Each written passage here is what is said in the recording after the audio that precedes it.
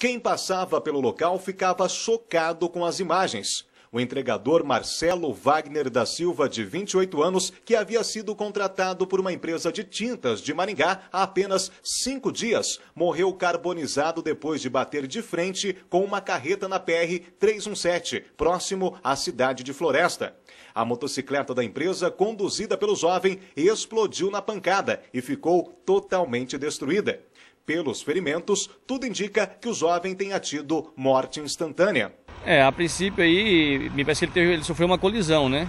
Então, possivelmente, aquele ferimento da colisão. De acordo com testemunhas, o acidente aconteceu depois de uma ultrapassagem. O condutor da carreta que seguia sentido a Maringá disse que o jovem veio de frente e que ainda havia espaço para ele desviar.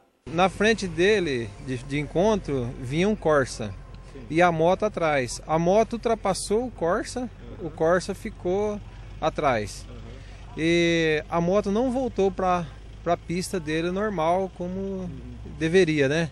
Chegando, aproximando do veículo, ele foi de bateu frontalmente com a carreta e acontecendo essa fatalidade aí, né? A Polícia Rodoviária Estadual e o Instituto de Criminalística de Maringá estiveram fazendo os devidos levantamentos que estarão apurando as causas do acidente.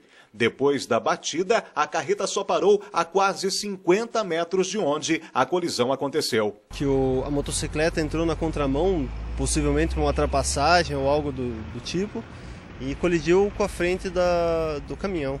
E foi, foi arrastado por 46 metros e como a moto continha tinta, galões de tinta, é, entrou em combustão e foi carbonizado.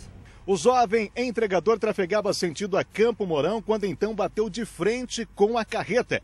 O que chama a atenção é que no início da tarde, por volta das duas horas, ele havia saído da empresa para fazer algumas entregas em Maringá e não teria motivo aparente para estar aqui na região de Floresta, onde acabou morrendo nesse trágico acidente. Amigos de trabalho de Marcelo disseram que já haviam até acionado a polícia para tentar encontrar o jovem que saiu da empresa e não deu mais notícias. Ele foi visto pela última vez por um outro amigo que afirmou que o jovem estava transtornado, mas não contou os motivos.